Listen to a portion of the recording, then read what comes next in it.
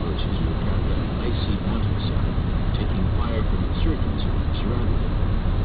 It's not so much the that doesn't know as much, it's just, uh, you know, knowing that uh, teamwork and, you know, your friends are right there with you and you stuck it out, do what you had to do. Uh, it's very humbling, but to be honest, uh, I think every time I look at it, I'll think about my, my teammates that were there with me